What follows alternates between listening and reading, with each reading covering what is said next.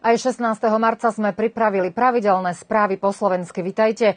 Prezident Aleksandar Vučić dnes v rozhovore s komisárkou Európskej únie pre vnútorné záležitosti a migráciu s Ilvou Johanssonovou vyhlásil, že Srbsko bude naďalej aktívne pracovať na procese zosúladenia svojej vízovej politiky s Európskou úniou a okrem dodatočných opatrení plánujeme zaviesť aj vízový režim pre tie štáty, z ktorých bolo zaznamenaných najväčší počet zneužití. Vučić poďakoval Európskej únii za podporu a pomoc v oblasti migrácií, aj za to, že rozpoznali a uznali námahu Srbska vysporiadať sa s migrantskou krízou. Na záver dodal, že členstvo v únii je pre Srbsko stále prioritou a vkladáme maximálne úsilie do procesu reforiem. Johanssonová označila Srbsko za blízkeho, spoľahlivého a zodpovedného partnera a únia bude naďalej a ešte viac podporovať všetky oblasti obojstraného záujmu.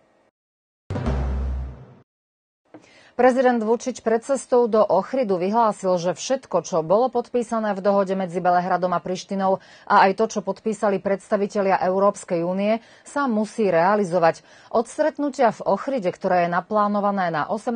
marca, sa očakáva dobrý výsledok rozhovoru zameraného na prílohu k uplatneniu dohody o normalizácii vzťahov, ktorá by mala pripraviť cestu Kosovu a Srbsku do Európskej únie. Do konca mesiaca je otvorených niekoľko víziev armády Srbska pre vojenské školy a akadémie aj pre jednotky rôznych zložiek vzdušných síl a protivzdušnej obrany. Výzvy sa týkajú dievčat a chlapcov do 27 rokov, ktorí majú záujem zamestnať sa vo vojsku Srbska. Jednou z podmienok je ukončenie štvoročného stredoškolského štúdia či dobrý fyzický aj psychický zdravotný stav. Výcvik pre odbor letectva sa vykonáva na vojenskom letisku v Batajnici a trvá 6 mesiacov. Štúdium na Vojenskej akadémii 4 roky. Otvorená je aj výzva na prihlásenie sa na strednú odbornú vojenskú školu a všetky bližšie informácie sú zverejnené na stránke Ministerstva obrany v záložke konkursy za upisu vojne škole.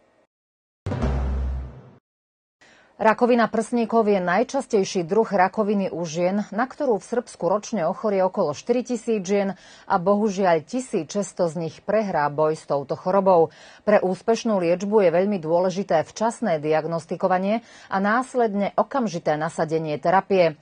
Po Srbsku v tomto období jazdí karavan so sloganom Buď smelá, poď na prehliadku, ktorý vo svojom vnútornom priestore umožňuje ženám absolvovanie preventívnej prehliadky. Je to pre ženy od od 20 do 45 rokov. Do Starej Pazovy príde tento karaván zajtra a počas piatku a soboty 17. a 18.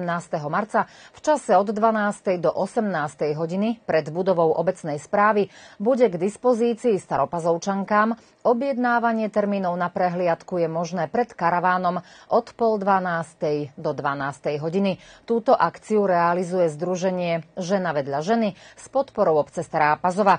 Preventívne prehliadky v tomto karaváne sú bezplatné. Keď je reč o hudbe, automaticky nás to asociuje na niečo krásne, vznešené.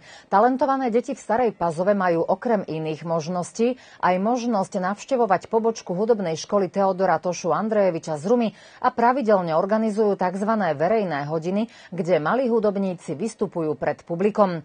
Kým však dokážu bezchybne zahrať skladbu a začujú potlesk, musia prejsť dlhou fázou, kedy si mnohé veci musia odriekať kvôli učeniu hry na nástroji. Ako viacerí žiaci povedali, okrem školských povinností sa musia pravidelne venovať vyučovaniu v hudobnej škole a denne musia doma cvičiť aspoň pol hodinu a to nie je ľahké. Potrebná je vytrvalosť, trpezlivosť, láska a podpora najbližších. Zapojiť sa musia aj rodičia, aby deťom pomáhali, vodili ich na hodiny, aby im zabezpečili kvalitné hudobné nástroje a býva to náročné aj finančne, aj organizačne. Avšak hra na hudobný nástroj má veľa pozitív. Jedným z nich je rozvoj intelektu a jemnej motoriky. Profesorka hudby Anna Zoričová súhlasí, že ten, kto sa naozaj chce hudbe venovať, musí si veľa odriekať. Vôbec nie je jednoduché ukončiť 6-ročné štúdium na tejto škole. Vyzýva však všetky malé talenty, ktorých táto oblasť zaujíma, aby prišli aspoň do prípravného ročníka a skúsili to. Keď im o pár rokov budú v hľadisku tlieskať, je to pocit, ktorý stojí za všetko odriekanie. V nedelu v Batskom Petrovci na javisku Slovenského vojvodinského divadla bude odohrané predstavenie Vladimíra Ďurďeviča Noc v dome pána Kolaka. Režíroval ho Irfan Mensur a hrajú v ňom Mensur, Slobodan Ninkovič a Vladimír Kerkes. Ide o spoločný projekt Strediska kultúry Stará Pazova, Kultúrneho centra India a produkčného domu Jugo Art Belehrad.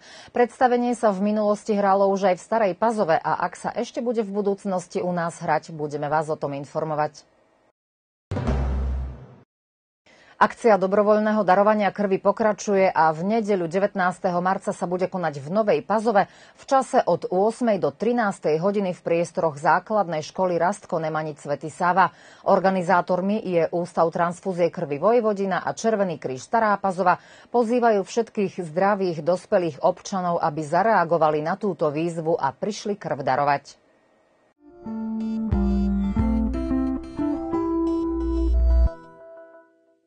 Piatok bude polooblačno, prevaha slnka, oblakov málo, najnižšie rané teploty nízke až mínus 2, no cez deň sa vyšplhajú po 12. Vietor slabúčky bude premenlivý, pocítime ho z viacerých smerov. Cez víkend už teploty nad nulou s maximálnymi hodnotami okolo 15 až 18 stupňov. Boleslav a Ľubica, to sú mená, ktoré dajú bodku za správami. Boleslav má vo Vojvodine meniny dnes, Ľubica zajtra. Všetko najlepšie a všetkým vám príjemný zvyšok dňa.